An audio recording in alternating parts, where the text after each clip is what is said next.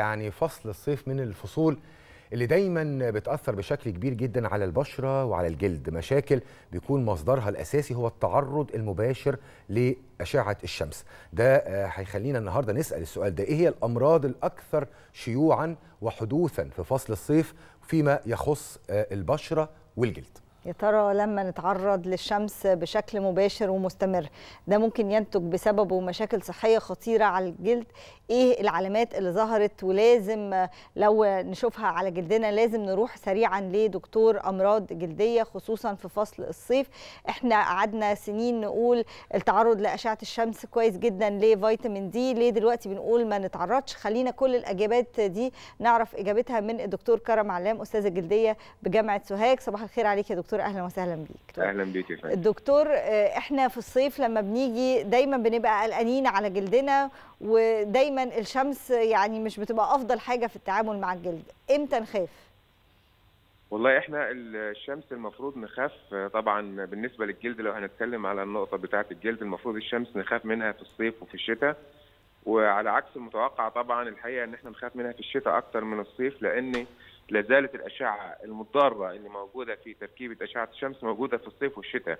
لكن حرارة الشمس في الصيف بتخلينا ننتبه أكتر ونخاف من الشمس. لكن لا زال التأثير الضار ال- تحت البنفسجية آه، فوق البنفسجية موجود. حتى في الشتاء يعني.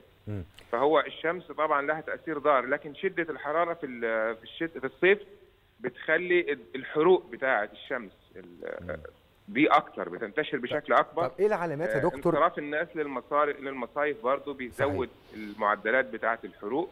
اتفضل يا أستاذ محمد. آه سؤال لحضرتك بس يا- لو إيه هي العلامات أو المؤشرات كده اللي تخليني أبتدي أقلق وأحس إنه في حاجة حصلت في الجلد أو البشرة تغير لازم يستدعي الذهاب للطبيب؟ الحاجة الحاده طبعا ال- التقشير اللي بيبتدي يحصل في الجلد الحاجات بتاعة الحروق الاحمرار الشديد الهرش الشديد الألم الشديد وظهور تقشير أو بقع آه، أو فقاقيع في الجلد. ده طبعا من الحاجات بتاعه الحروق واللي بتتشاف كتير كمان في المصيف خصوصا في المناطق المعرضة آه، للشمس من المايو زي الكتاف والرقبة وال- والوش والودان.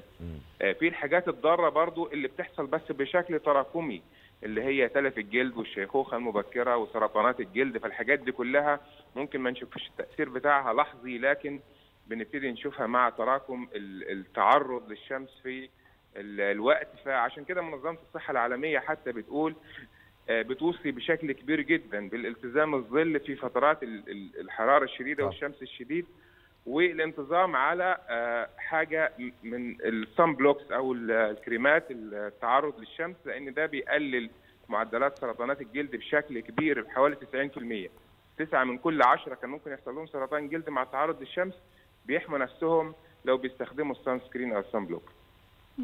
طيب آه، بعض الناس بتبقى شايفة إن استخدام ال sunblock أو ال sunscreen ده شيء آه، قد يكون رفاهية.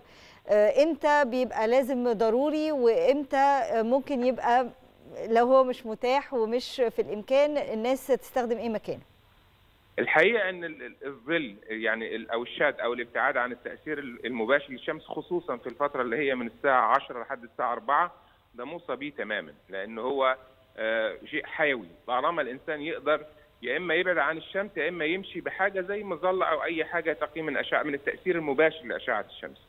آه، استخدام ال sunscreen أو ال sunblock ده مش حاجة رفاهية على الإطلاق ده حاجة وظيفية وبتحمي فعليا مش بس حتى من شيخوخة البشرة لكن من تلف البشرة ومن سرطانات الجلد. فده حاجة مهمة جدا إن إحنا آه، نستخدمها وبطريقة صحية ونبقى فاهمين كل sunscreen المدة بتاعته المفروض قد إيه.